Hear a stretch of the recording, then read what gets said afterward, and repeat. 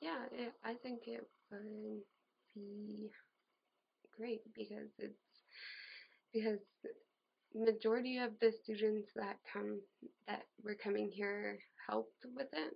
So coming back to visit and stuff, I'll remember, oh yeah, I went to school with those people that did the totem pole, and yeah, I think it's cool mm-hmm. because it's part of the cultural and it is and First Nations school.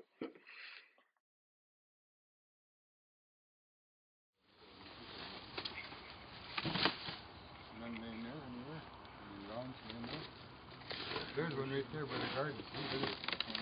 Very good. I think it's been a long time coming. This is something that we've wanted to offer for quite a while, and as a as a First Nation school, I think we we were really looking around the building and we wanted to see that visibly throughout our school, and we thought that the best place to start would be with the exterior. And so we looked at what sort of um, what sort of cultural pieces could we add to our building that would really welcome students. And the first thought that came to mind was a greeting pole, a greeting totem pole.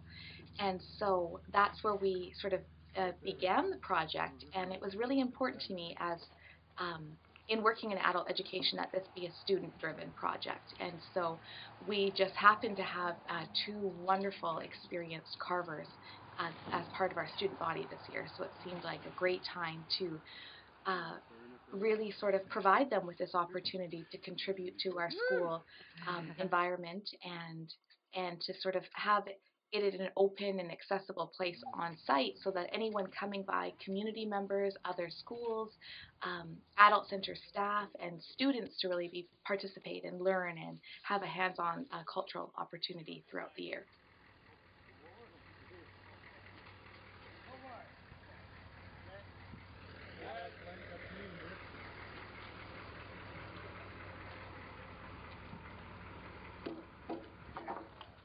The spiritual openings are very, very important.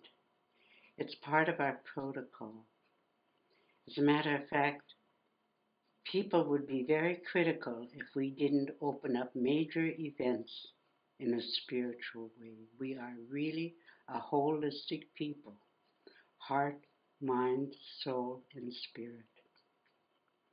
And we usually always open up sessions with a with a prayer in a spiritual way, calling upon the Creator and the ancestors to be with us as we do we move through the workshop or the seminar or the or the celebration. It's, everywhere. They would either use the big house or the Shaker Church. And over there you had Lila and Dan who are really, really staunch Shaker Church people. Dan and Lila are very staunch in the Shaker Church. And they were doing a blessing, and I thought that was wonderful. So they asked the Creator and the ancestors to stay with everybody that's involved with the totem pole until it's finished. Um, how did you get involved with this totem pole carving project? Well, I was going to school here. Kendra just came up and asked me, said she was building up funding for it and seeing if I was available. I really want to thank Kendra for giving me this opportunity to work in my own community for the first time. I've worked for other bands and other tribes. Fortunately, I got to work uh, in other countries. So, but this is the first time I've ever got to work in my own my own homeland. That totem pole is going to be amazing because the students have actually worked on it themselves. And that makes a big difference. There's, there's a whole sacredness around totem poles and a whole sacredness around cedar. Cedar is very important to our people. We make, we make um, our canoes, our totem poles, all kinds of art is made with cedar. So it's amazing. The, cedar is a very sacred piece of wood for us. Like we say, we we used to use totems to tell our our story of who we are and where we come from. A lot of the work from, I guess, from around here had to do with the Great Flood. and how our people tied themselves to Lavalnook with a cedar rope, and they tied their canoes to the top of the mountain to survive the, great flood. And, uh, now you'll see uh, Coast Salish using rope on the on the bottom of their totems, and same with the totem pole that we're we're doing right now. It uh, it's a welcoming pole, and it's it depicts uh, teacher and a student. The teacher is saying, "Welcome to our territory," he has his hand on the shoulder of the student, and the student has both hands at saying "Haichka" to the people. And we had some space on the bottom, so we decided to put rope on the bottom of our pole to represent Lavalnook and the school here. And, and the hat is a very traditional Coast Salish hat, which I had seen in uh, uh, works from Simon Charlie. So I guess when you talk about Salish, we have our own themes, we have our own stories. Everybody has a story to tell.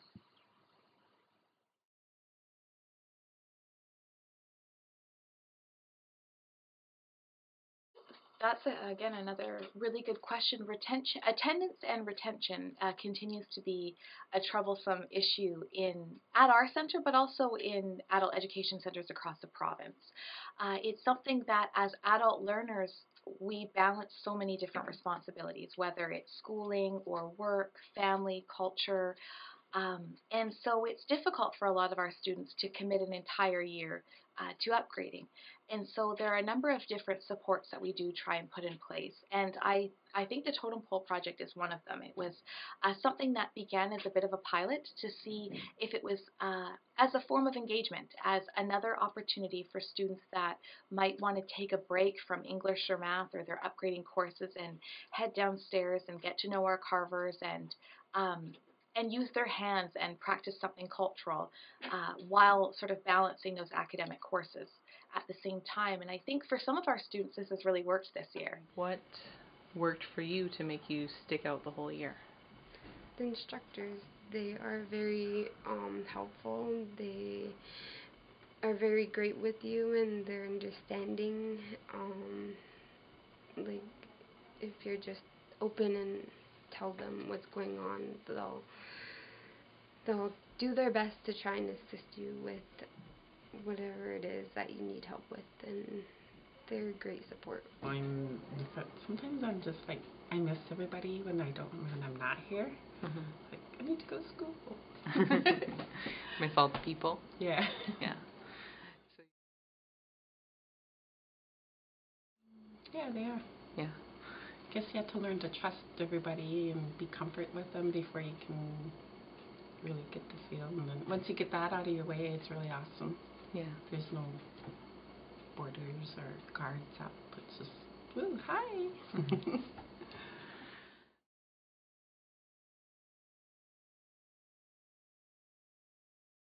My self esteem in the past year has, I built it up a lot more than I did last year because before I never would have thought I would be where I am today. And um, it's because of the instructors too. They, you know, they they push you and they help you with that self esteem. Like, you know, you can do it. It's not that hard. Oh, come on. and it, like, it helped me so much to build up my self esteem because before I had very little self esteem for myself and um I just, just like I said before, I want to be the role model for my children and if they don't see me with the self esteem you know um they'll probably think the same way and like, I don't want that for my kids. Have you? Was there any events in your life that made you feel like school might have been too hard to go back to Um, this past year? just on the outside where there's more community deaths or whatever, that's probably what, what number one that made me stay back a little bit. I did stay home because of funerals and um, I remembered again why I was registered for school. So I had to come back, catch up. When I did it, I caught up.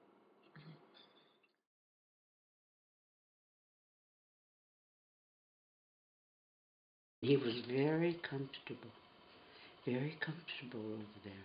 And he had awards. I think he had two or three. I thought, wow, that goes to show you when we feel comfortable with our educational journey, what we will do. And that's why I was thinking, saying to Kendra, the photography class, the uh, DVD, would be amazing, you know, for you guys because it could show people how comfortable you are. Because obviously you're feeling very at home and very safe and very involved with what you're learning, what you, what, you know about your education, and and I think those that course could be a good advertisement for what happens to our people when they learn about themselves, when they're involved with their own history, culture, value, values, language.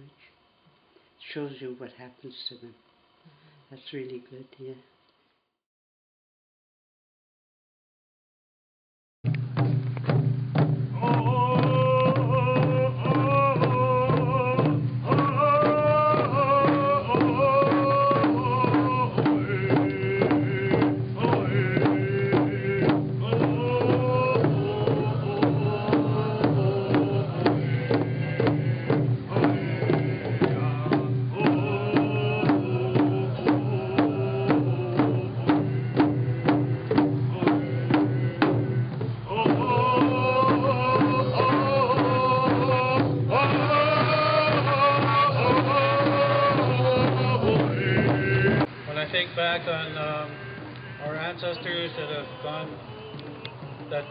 To education, and, and those today that are, are with us and uh, continue to commit their lives to education, it's always an honor for me to speak on behalf of the WSANEC School Board. The,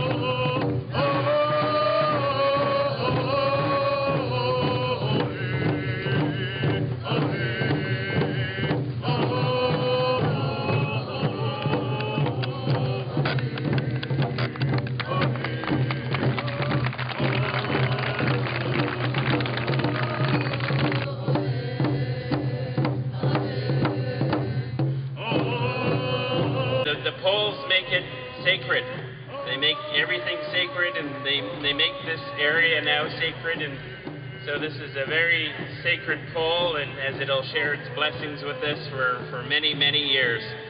And uh, and also that you know the hard work that uh, everyone has put into making sure that the WSANEC School Board remains successful and you know, it was the mothers who, who fought to keep the school here.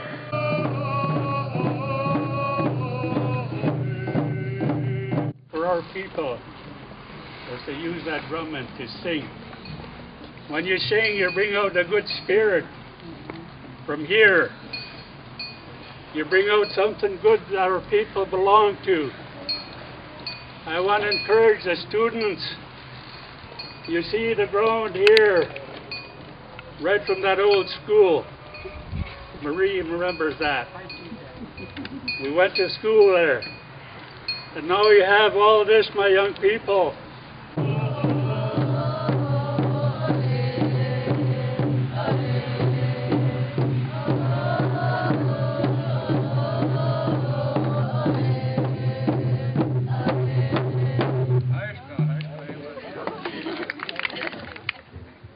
Hello, everyone, and I'm the chair, chairperson of the WSANEC School Board, and um, it's a great honor to be here today to witness this uh, beautiful event today.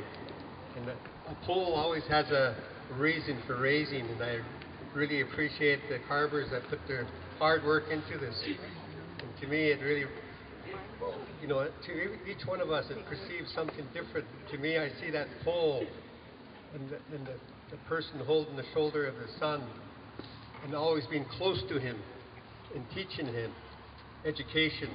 Because education's every day and it doesn't stop at grade 12. It keeps going and it keeps going.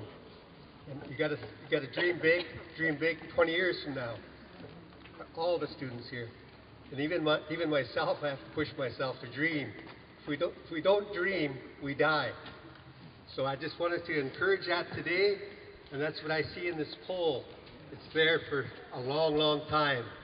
And I love this learning center here, and it's a place of learning. And we have to pass it on to each one to encourage.